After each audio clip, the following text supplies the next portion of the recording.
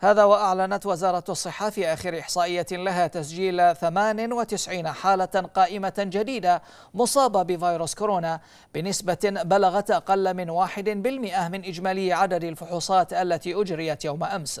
وقالت الوزارة إن حالات التعافي الإضافية بلغت 105 حالات ليصل العدد الإجمالي للحالات المتعافية إلى 267 ألفا و26 حالة. الحالة.